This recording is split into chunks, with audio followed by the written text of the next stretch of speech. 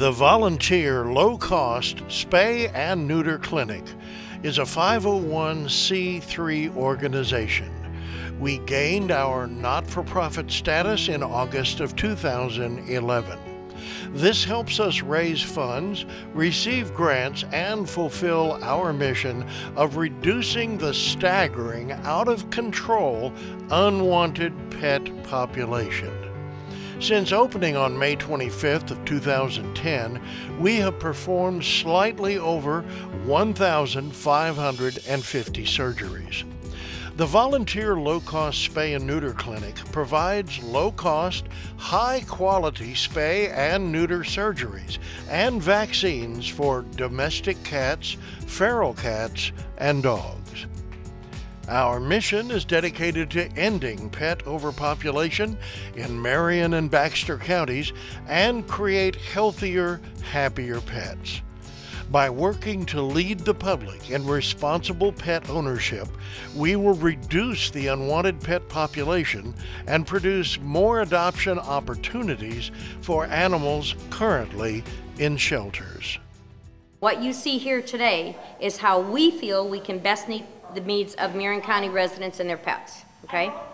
And uh, before you get started, Eddie's going to do a little role playing and Okay. to make it to get you involved in here, okay? All right. But you don't need to be worried about any of the animals that you're being assigned because they're not vicious. They have great personalities. This is Bubba. Okay. All right, And this is Bubba. And Bubba's family moved and left him behind, so he suffers, suffers from separation anxiety. But you never have to worry about losing Bubba. He'll stick to you like a tick on a dog. Oh, I'm sorry, Bubba. and this is Mr. Sweetie. Now, Mr. Sweetie, you don't call him Sweetie, he won't like it. Mr. Sweetie has an attitude problem. What he lacks in size, he makes up for in attitude. Okay? But before we get started on that, I need to give you a little background information. Okay. The, I came here in 2006. Before that, I had done rescue work and educational programs in the grade schools for kids, for pets, okay? Uh, the problem with that is eventually you end up getting stuck. And so I ended up with 10 pets, 10 pets with special needs. so that was the end of that for money and everything. I said, no more of that. But I still wanted to continue working with animals. And I had heard that Arkansans for Animals had an opening for a veterinary. So I said, this is this would probably work. So at the time, Pat Dagenet, who's here, who's vice president and co-founder of this organization, I, I told her what I wanted to do, and she said, yeah, I like that idea, because she was a Pat person too. Now, Pat was executive secretary for Exxon for many years, so she has a lot of strong organizational skills. And the great thing about this relationship is that although we have never had an argument, which is very rare, we have never had an argument, we frequently don't agree. And that creates a very, a situation where you make balanced decisions for all your animals, okay? Because you get to look at the other side of the coin, Sure. you know? So we went door to door and we got wonderful volunteers. We got cash donations. We started getting crates. We had to borrow crates from other people when we first started. Um, and so th- that's how we get all our wonderful volunteers. Today, there's four of us on the board. There's myself, Mitch Porter Schultes, president, uh, Pat Dagenet, uh, vice president, uh, Linda Vincent, who's a secretary, and she was uh, ran a, as was a hospital administrator for years, and Babby Walden, who does our books, who runs uh, Mill Creek uh, Storage and Mill Creek uh, Pet Kennel. Okay, so we have a very strong board of directors, and that's good because again, we don't seem to argue. We might argue at a board meeting, but everybody wants what's best for the animal. So we make some good, solid decisions that way. Um, the clinic is the volunteer low-cost spay and neuter clinic. Volunteer because no one is paid, okay? And I can squeeze a penny until it'll scream. Absolutely everything that we get in here, we try to get donated or worst case scenario at cost, okay?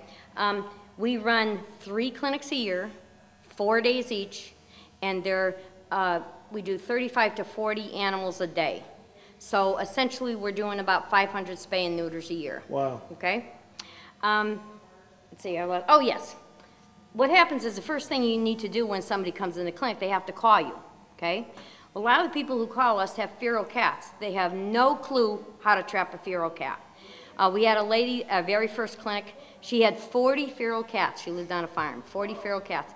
And she came in uh, she was registered for three cats and two dogs. And she said, I can't get any of those cats. So what we do is we loan them a, a trap. We don't even charge them a fee for using it, the deposit money. Right. Because people who are broke, all you have to do is give them any deterrent at all and the job isn't gonna get done, okay? So, we loan them a trap and we make them fill out a form that says that they borrowed the trap and how long they, I've done this 14 years, I've never lost one trap. I've had to go after a few, but we've never lost one trap, okay? So then the next thing that happens is we give them instructions on how to trap. Eddie will tell you, we've done that with Eddie, okay? And we loan them the trap and we read the instructions and then we tell them that the m- most important thing about trapping a feral cat is don't try to trap for 10 days. You wire it open, you get the cat used to going in and out of there, comfortable with its own scent, and then when you've got your vet clinic arrangement set up, that's the day you trap, okay? So I'm gonna demonstrate here for you. So- Somebody was gonna have to read it, but since there's just the three of us, okay? So, Bob, I'm loaning you this trap, all right? Okay? And you've never trapped before. So, wh- what, what at first happened is we tell people they had to wire the trap open. Well, people had a heck of a time doing that and they get disgusted. And I'd have to bring the trap home, give it to my landlord, con him into trapping it open. He said, I'm tired of this. he said, there must be a better way. This is the better way. So now we take this stick, we tell you, that's all you gotta do. And now go. it's wired open, okay? So when you're feeding the animal, you make sure that the thing goes past this here, right here, okay? Mm-hmm. And you cover the back half of it like this with a towel. So the animal gets the feeling that they're in a cage or someplace where they're safe, okay? And you feed them uh, a little dry food with a little wet, because they can smell that, okay, for 10 days. Then the day you have your appointment for the veterinarian, these have-a-heart traps are wonderful. They're very simple to operate. So then the day you're gonna trap, all you have to do is see this little lever right here? All you take is just, you take this lever and pull it forward and you're done Oh, and you're trapped, okay? Now, also in these instructions, everything I tell you is in these instructions. Also in these instructions, it'll say to you that when you're going to capture that cat, you have to watch your trap. Every half an hour, you have to at least be checking your trap, because a feral cat who gets into a trap will smash itself along the side until it bleeds. Oh. And the minute you put that thing over it, settles right down. It's quite, if you're ever having to take a, a cat to the vet or something or on a trip, just cover it. It's gonna settle right down on you, okay? Any questions with that? no, that's good. Okay. Oh, good, I like that. I Great got a- I got an A on that one. Um, okay, now, Eddie?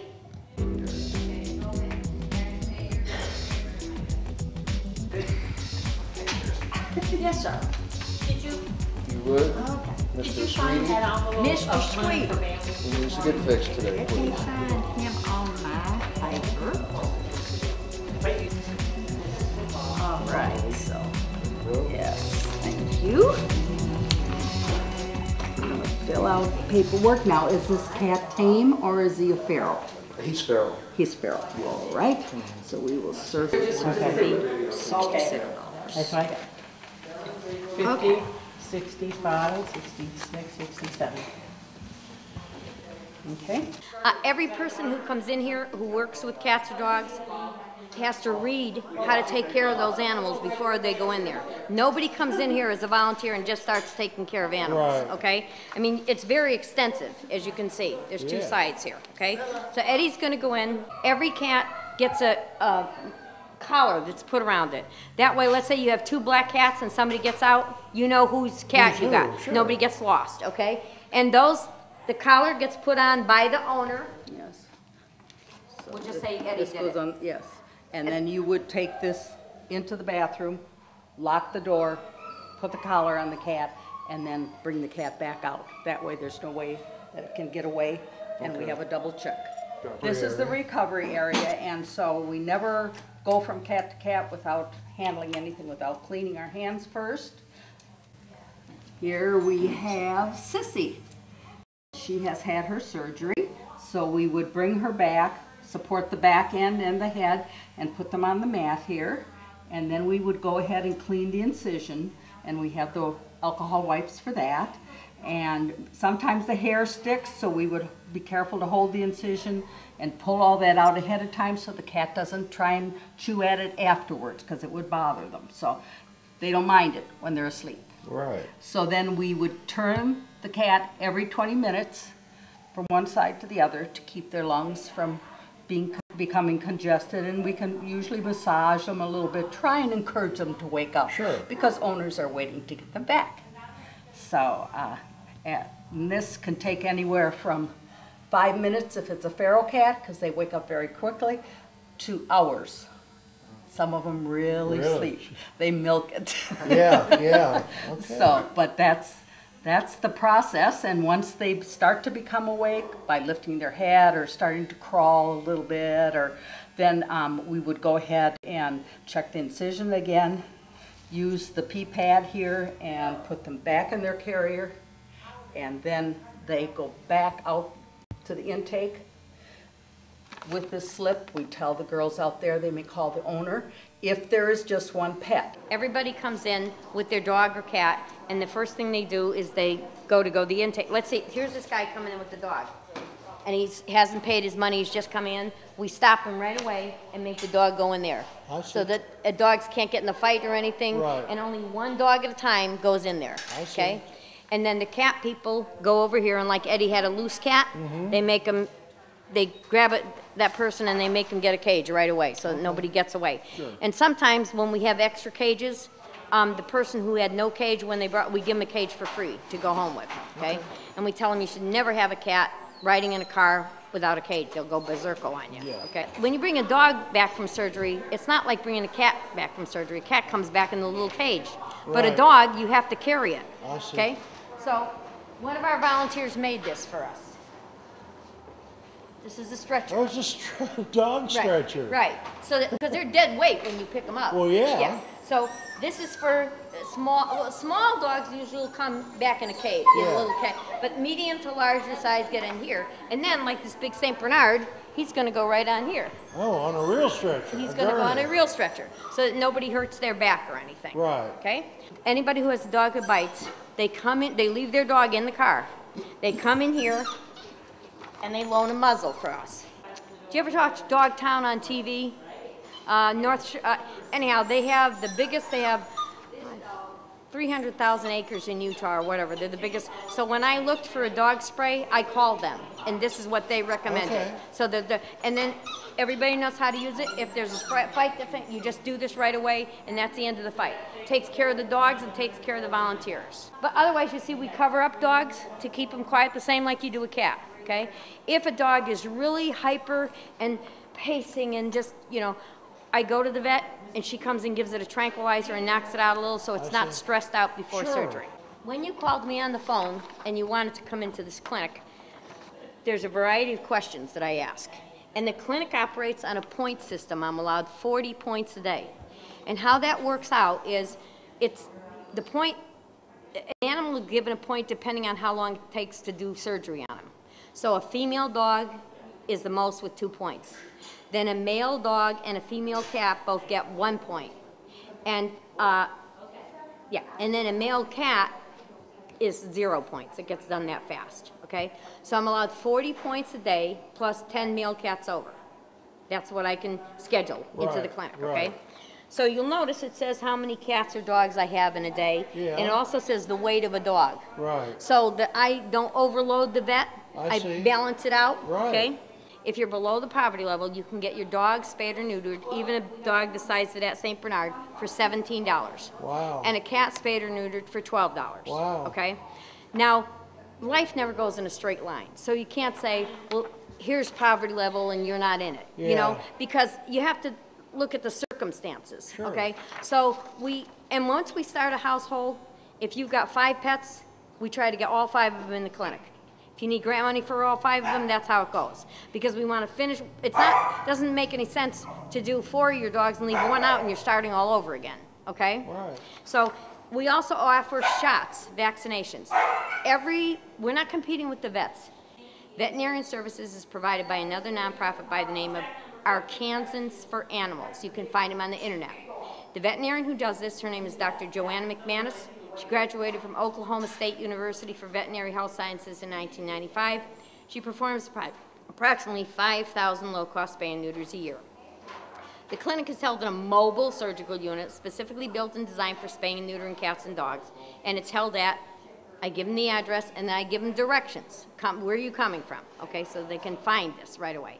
Then at the end, I say a couple of days before the clinic, a couple of days, meaning two, three at the most, another volunteer is going to call you. She's going to remind you to bring your pet to the clinic. She's going to tell you what time to bring it to the clinic and when to take its food away. That way, nobody can forget their appointment. Okay? Actually, it takes, um, it takes thirty-five thousand dollars a year. What we need to drop the numbers real down, real low, is you need to take thirty-five thousand dollars a year the first year and just dump it into people below the poverty level. Because that's your biggest problem, you know?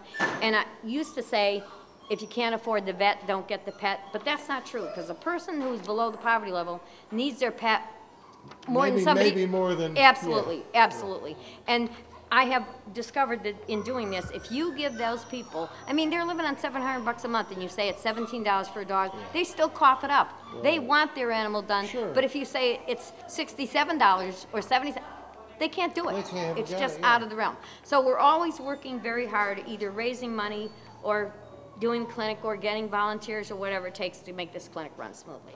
I want to also add how important it is to have good volunteers. We have good, dedicated volunteers. I don't care how smart you are, how organized you are. If you don't have volunteers, you're nowhere, you know? And we have people who change it. We have people who take time off of work.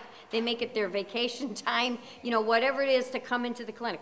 And nobody here is a prima donna. If the cat carrier needs to be done and somebody poops in it and I have to clean it, that's it. You know, everybody chips in here and nobody complains. We are very fortunate.